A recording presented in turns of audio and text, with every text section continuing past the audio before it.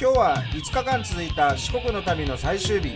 どちらかといえば比較的地味な廃自販機や珍しい自販機コーナーを回ってみよう。香川県高松市鹿野町に珍しい廃自販機があるという情報があったので寄ってみよ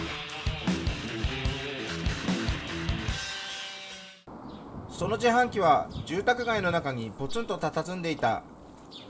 側面に明治と書かれた赤と白のボディのルーレット付きの廃自販機だ。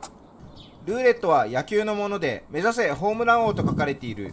ルーレットでホームランに入ったらもう1本もらえたのだろう。角張ったスタイルが印象的な懐かしい廃自販機四角い押しボタンも小さくなった。昭和60年頃のモデルだろう。ベースボールのルーレットを見ているとファミコンの野球ゲームを思い出す。私の子供の頃は野球ブームでテレビで野球観戦するのが好きだった。その時代を彷彿とさせる懐かしい廃自販機だ。日本のディスプレイも何も残ってないけど貴重な富士電機製の廃自販機はい香川県高松市のベースボールルーレット付きの明治の自販機ですね。昨日今治で見たあのベースボールルーレットの、まあ、基本的には一緒ですね。これ30秒までは何回でもゲームできたみたいですね。ホームランになると、えー、本負けでもう1本もらえるというね。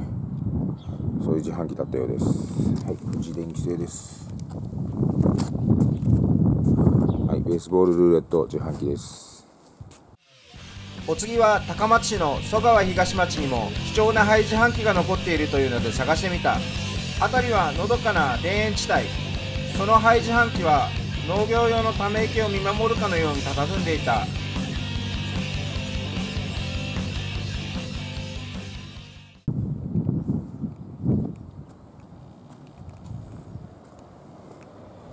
レンガの模様を身にまとったオレンジ色の富士屋の配置半機独特の時代でコーヒーと書かれている。富士屋レモンスカッシュ富士屋ネクターそして BHV のロゴが入っている。BHV とは当時ベンハーという飲料メーカーがありベンハーベンディングの略取る当時は主流だった飲料メーカーの一つだ。商品サンプルは何も残ってないけど押しボタンが四角くて大きい昭和末期の自販機の特徴を残している。サビなども多いけど貴重な富士電機製の廃自販機だ。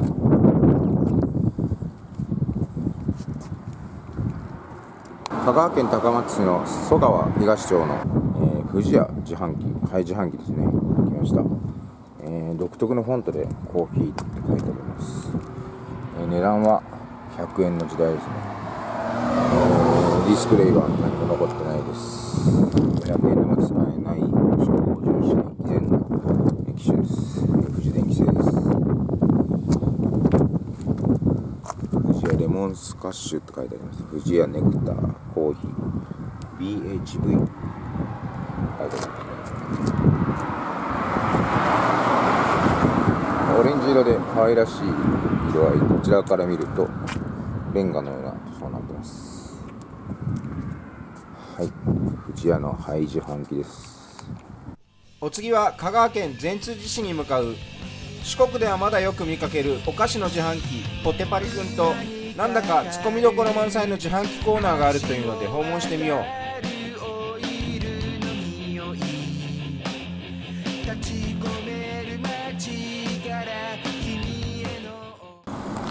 四国にはまだ多いが徐々に数を減らしている。お菓子の自販機ポテパリくん。もともとは金付きの付きの弁当を販売していた自販機だ。自販機用の弁当が製造中止になり塗装を変更してお菓子の自販機に転用されている。はい香川県善通寺にあります、えー、自販機コーナーやってきました、えー、ポテパリくんの自販機がありますね、えー、この前ポテパリくんでチップスターを買おうと思ったらラーメン丸が出てきたんで、え今日はちゃんとチップスターをゲットしたいと思います。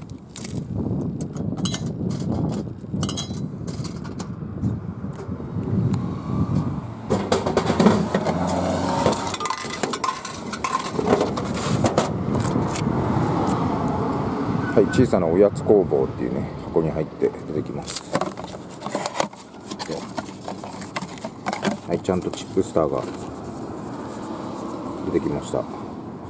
今ねあの北海道のじゃがいもの危機で、えーポテトチップスもね貴重になるかもしれないのでいただきます。高能別健康ベンダーってことでね、えードリンク剤が結構安いですね。70円とか、えーマカマカの元気が250円。これ一番高いですけど。あとスパークユンケル絶対に効きますと。書いてあります。スパークユンケル年中250円。なかなか突っ込みどころが満載の自販機コーナーですね、まあ、途中はどこにでもありそうな自販機がいっぱい並んでるんですけども実際一番奥にまた面白い自販機があります。はい。えー、激安の自販機なんですけどもなんと三流コーヒー四流ジュース。これ何が出てくるのかねちょっと試してみたいと思いますまず三流コーヒーを買ってみます。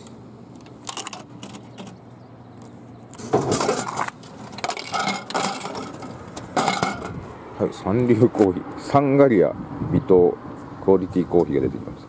サンガリアは三流なんですね。しかも100円入れたのに20円しかお釣り出てこない。俺50円で書いてあるのに80円じゃん。やられた。何これ。仕方ないんで。今度四流ジュースいきますか。四流ジュース。50円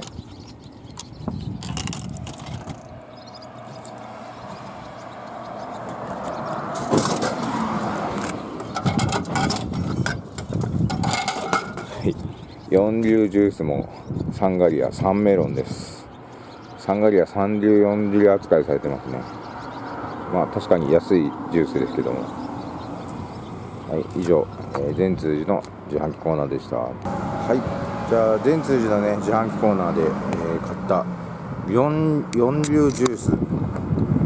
四流ジュースをいただきたいと思います。サンガリア。サンレモンです。サンレモンサンメロンです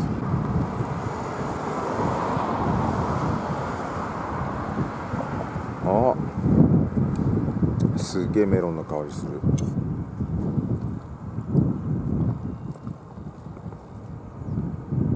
うん。なんかね甘くないの。甘くないほんとメロンの味。しかも無果汁だから香料だけでメロンエキス入ってるけど。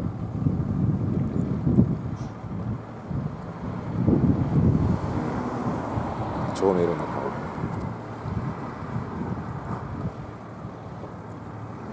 りごちそうさまでした。ということでね四流ジュースいただいてみました。コッシーでした。お次は三豊市山本町に昭和のインチキガチャコスモス自販機が残っているというので訪問してみよう。四国には可動機こそないものの非稼働のまま残っている自販機がいくつか確認されている。この自販機もその1台だ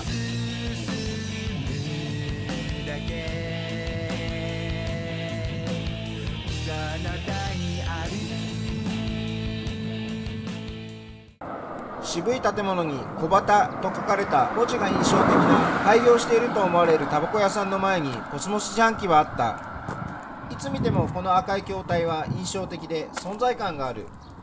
ディスプレイには見本の紙がいくつか残ったままだ。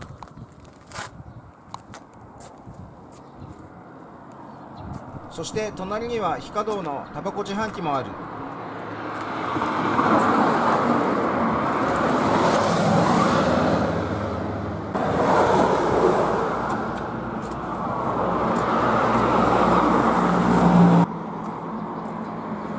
木製の電柱も昭和のままでとても渋い雰囲気だはい、コスモス自販機来ました。まあ、あの、非稼働ですけども、えー四国にもね、何台かコスモス自販機が、ね、非稼働で残ってますね。非常に貴重な存在だと思います。で、非稼働のタバコの自販機もあります。パスポついてないです。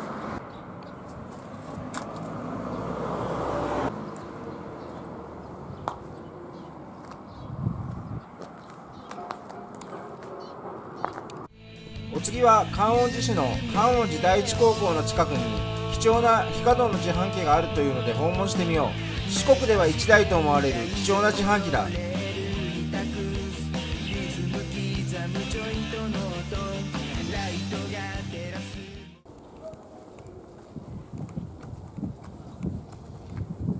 みませんこの自販機ちょっと取らせてください。え？この自販機ちょっと取らせてください。はいなんか愛知県の方にもそれと同じようなのがあったわああそうなんですか。現在稼働機は1台も残ってないかき氷自販機。非稼働でも現在10台程度確認されているのみだ。貴重な星崎製のかき氷自販機。はい、川治第一高校の近くに、えー、かき氷自販機の非稼働があります。氷もできるまだ作れるんです使えるんですか？何があの氷のなんか自動のこうスイッチがあるんや。そのはいスイッチがいたんだ、スイッチが部品がああないとーそうなんですか。それだけしたら。おおー。製品もできるだけ手で動かすんやったら氷もかける。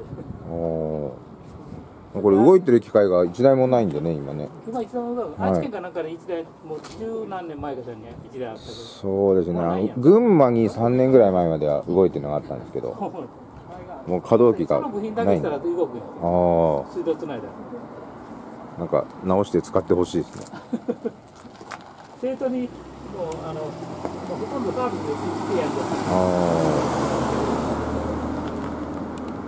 はい、この動画が良かったと思った方は、えー高評価、えーコメント、えーチャンネル登録お願いします。ありがとうございました。昭和スポット研究所コッシーでした。